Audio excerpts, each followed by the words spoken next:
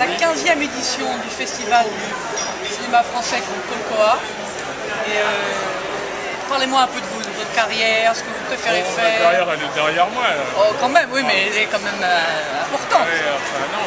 euh, et moi, je, je sors de l'avion, là, je suis un peu... Bon, pardon. Mais ma carrière, elle va, pas- elle va ça va pas mal.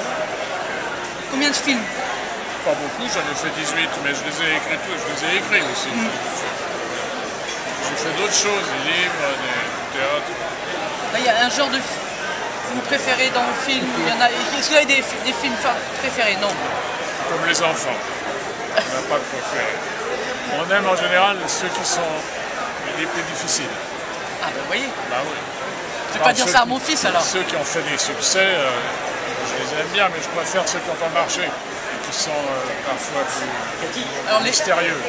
Lequel ou lesquels pour vous ont pas marché Il y a la majorité, on peut marcher. C'est comme tout le monde.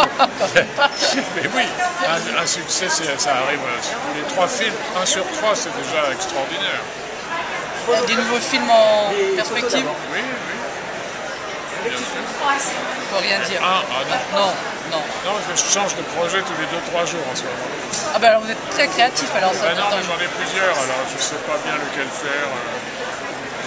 C'est la première fois que vous venez au festival? Ici, oui. J'étais venu à Los Angeles euh, il y a longtemps. C'est Trop belle pour toi, je crois.